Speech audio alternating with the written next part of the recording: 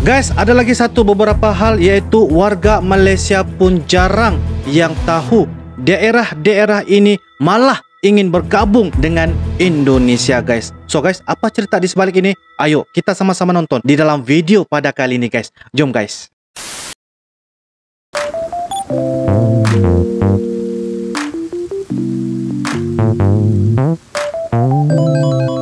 Guys, Assalamualaikum warahmatullahi wabarakatuh dan salam sejahtera. Welcome back to my YouTube channel guys. Terima kasih kepada anda yang sudah klik ini video Kepada anda yang baru saja berada di dalam channel ini. Saya ucapkan selamat datang, terima kasih Dan selamat bergabung kepada anda yang sudah subscribe di dalam channel ini. So guys, kepada kalian yang tengah menonton Uncle mendoakan supaya kalian berada di dalam kondisi sehat walafiat insyaAllah. Oke guys, pada kali ini kita akan teruskan satu video reaction dengan tajuknya yaitu warga Malaysia pun jarang yang tahu daerah-daerah ini malah ingin bergabung dengan Indonesia. Dan ini merupakan daripada channel yaitu YouTube Crash Dogs guys. Ah jangan lupa berikan sokongan dukungan kalian dengan cara like, comment, share dan juga subscribe disebabkan dalam channel ini banyak info-info yang sebagai saya kita boleh jadikan sebagai satu info dan juga ilmu sebagaimana kita menonton di dalam video pada kali ini guys. Jadi guys, saya sangat penasaran apakah cerita tentang kenapa Malaysia pun jarang yang tahu. Saya pun sangat-sangat penasaran dan juga sangat pengen guys. Kenapa? Kenapa? Dan malah ingin bergabung. Ada satu daerah, daerah-daerah yang ingin bergabung dengan Indonesia.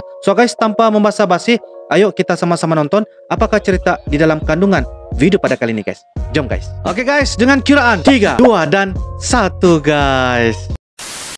Halo Razobars, kalian Halo. lagi nonton ditemenin sama Arjuna nih. Iya. Mungkin selama ini yang kita tahu banyak daerah yang ingin memisahkan diri dengan Indonesia ya, karena konflik tertentu atau ketidaksesuaian ideologi. Baik, Namun baik. ternyata ada daerah yang malah ingin bergabung dengan Indonesia loh guys. Berikut ini ada beberapa daerah yang ingin bergabung Daerah-daerah yang ingin bergabung dengan Indonesia guys. dengan Indonesia. Sebelum lanjut videonya, bagi kalian yang Wow. belum subscribe, klik dulu tombol subscribe di bawah Jangan lupa video subscribe, ini. guys. Mari kita bagi pengetahuan dan hal seru lainnya Betul, betul. yang ada di dunia ini. Baik, baik, baik. Wow. Akibat konflik perebutan Sabah dan Wow. Sarawak dengan Malaysia, Sultan Sulu atau pemilik Sabah yang sah, Muizul Lail Kiram mengaku sangat frustasi terhadap konflik tersebut. Karena itu, dia meminta bantuan Indonesia buat merebut kembali wilayah Sulu yang terletak di utara Kalimantan itu. Wah, Uh, untuk Ingin merebut ya, guys, ya? Wow. Pagi uh, pergi ke kawasan mana memperketat ini cerita-cerita yang dahulu Seperti yang guys. dilansir dari Merdeka.com, pada tahun 2013 lalu, Sultan Sulu Muizul mengatakan kalau ia akan menyerahkan kedaulatan Sulu kepada Indonesia, asal Indonesia mau membantu mengembalikan Sabah dan Sarawak kepada mereka. Sementara Hmm. itu, padahal Malaysia terus menggempur pertahanan. Itu cerita di mana kita lihat Sultan guys Sulu ya. Muizul bukannya memilih bergabung dengan Malaysia, ia malah ingin gabung dengan Indonesia. Alasannya, menurut beliau, Malaysia tidak berkomitmen dengan nilai-nilai Islam dan hanya sekedar kata-kata, tapi perbuatannya tidak mencerminkan Islam. Oh. Itu jadi benda yang sangat viral ya guys ya.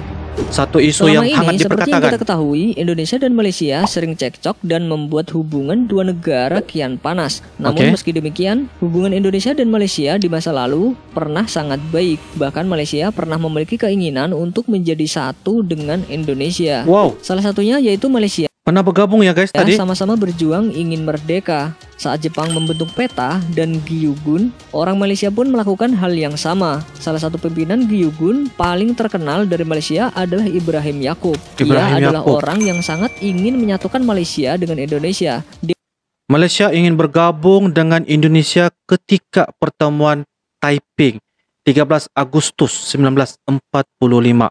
Uh, tidak silap Uncle ini sebelum kemerdekaan Malaysia guys ya 31 Agustus 1957.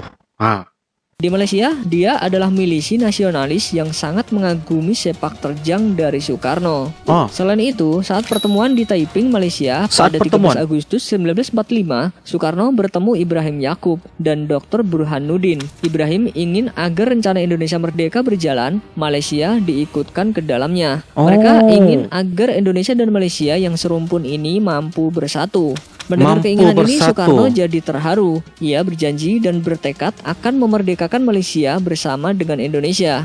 Namun janji itu tidak dapat ditepati oleh Soekarno mengingat memerdekakan Malaysia sama halnya dengan melawan Inggris dan juga sekutu. Kemudian Oh. Malaysia pun merdeka sendiri dari Inggris tanpa ada campur tangan Indonesia. Ibrahim Yakub sebenarnya masih ingin menyatukan Indonesia dan Malaysia. Namun keinginan itu ditentang dan akhirnya Ibrahim Yakub diangkat oleh Soekarno menjadi anggota parlemen di Indonesia. Oh, begitu ceritanya. Baru saya tahu. Wow.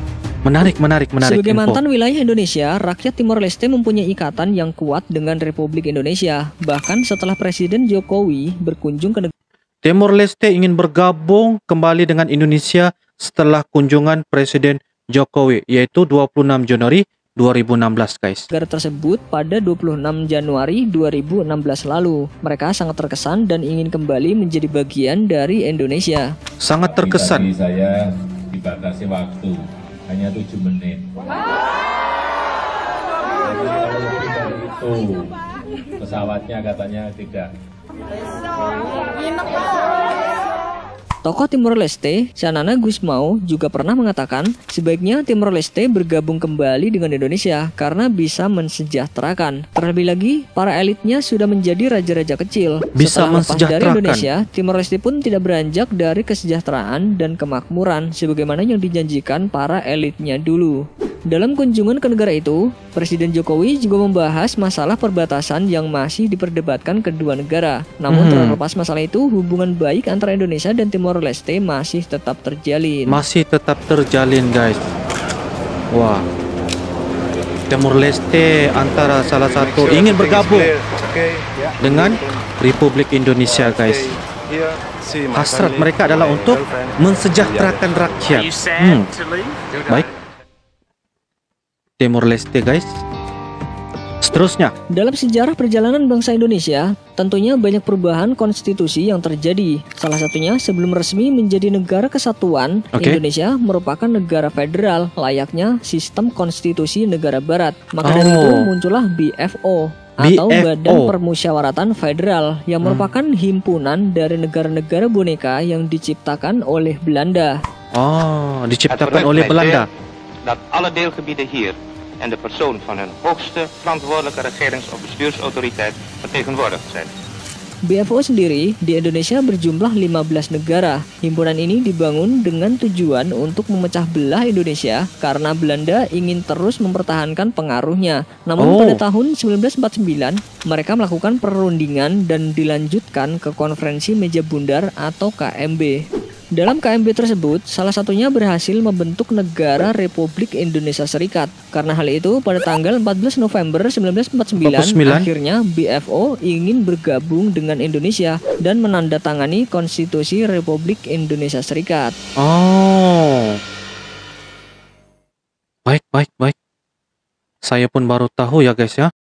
Oke guys, demikianlah sebentar tadi daripada channel YouTube Crash Dogs. Ah, dimana dengan tajuknya warga Malaysia pun jarang-jarang yang tahu daerah-daerah ini malah ingin bergabung dengan Indonesia. So guys, secara kesimpulannya apabila kita melihat dari segi fakta dan juga data daripada admin yang telah dimuat kandung dalam video tersebut, kita melihat satu sebagai informasi dan juga pengetahuan kepada kita, terutamanya Uncle, mungkin kepada kalian yang tengah menonton. Semoga dengan video ini kita anggap sebagai salah satu konteks ataupun konsep kandungan yang membawa kita menambahkan pengetahuan dan juga info Malaysia dan juga Indonesia seperti mana yang saya nampak sebentar tadi sebenarnya sudah lama terdahulu guys. Sudah lama Malaysia dan juga Indonesia ini merupakan sahabat negara yang paling rapat dan yang paling dekat guys. Sehinggalah pada hari ini. Dan saya pun baru tahu juga guys uh, bagaimana daerah-daerah uh, seperti mana di Malaysia ada juga daerah-daerah yang ingin bergabung ya hasrat untuk bergabung dengan Republik Indonesia ataupun negara Indonesia. Seperti mana yang disebut seperti Taiping. Wow, saya pun baru tahu juga ya guys ya. Sebab ada beberapa syarat dan juga perjanjian sewaktu zaman uh, Presiden Soekarno kan pada waktu itulah. Tetapi ialah mungkin ada sebab uh, benda-benda yang tidak dapat maka dengan itu uh, tidak dapatlah bergabung. Tetapi walau bagaimanapun itu adalah satu konsep cerita dan juga fakta yang patut kita sebenarnya mengambil tahu. Dan apa yang dikatakan oleh admin daripada YouTube Cresdok ini sangat membawa kita satu sejarah lah, satu sejarah yang patut kita uh, ambil sebagai satu kons- uh, perkongsian info dan juga ilmu. So guys, apa pendapat anda tentang video daripada Uncle pada kali ini? Anda boleh bubuk di ruangan komentar. Jikalau ada data dan juga fakta uh, tersebut daripada Uncle ataupun apa-apa sahaja anda boleh perbetulkan saja di ruangan komentar. Saya akan anggap benda ini sebagai satu orang kata sesamalah kita berbagi maklumat. Tidak salah untuk kita sesama berbagi maklumat. Yang penting kita dapat mempelajari sejarah-sejarah di antara Malaysia dan juga Indonesia. Walaupun di mana pun Malaysia dan juga Indonesia tetap negara serumpun, tetap menjalinkan hubungan dengan lebih aman, dengan lebih baik dan insya Allah Indonesia dan juga Malaysia akan menjadi satu negara yang terbaik sehinggalah sampai selama-lama-lamanya insya Allah. So guys itu saja daripada Uncle. Kita akan jumpa lagi di next video akan datang. Thanks for watching guys. I love you Malaysia. I love you Indonesia. Assalamualaikum warahmatullahi wabarakatuh. Bye bye.